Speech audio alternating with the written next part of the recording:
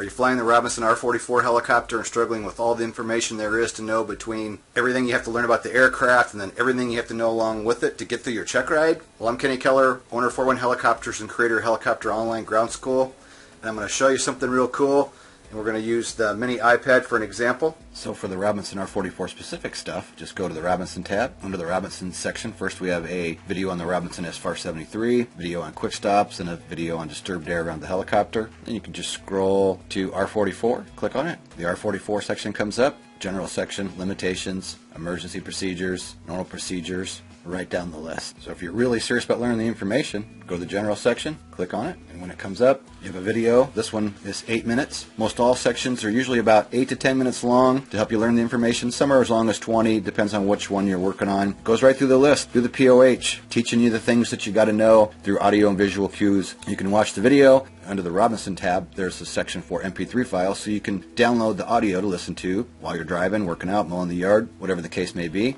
And then it's very easy to just work down the list over here. You get through the first section, you want to go to limitations, click right here on the left, and it takes you to the limitation section. Then you also want help preparing for the check ride go to the PTS. In the PTS, we work right down through it step by step. All the sections out of the PTS are right here. Same thing again, go to the section you want to work on. There's about, at this time, I think 22 different modules just in this section. You can work through them. And then again, the cool thing is over here on the left, you can go down the list step by step. You get done with that one, go to this one. It's always easy to come back and review. Like say you want to come back and review how to use the FAR/AIM manual. Right there, click on it, boom, there you go.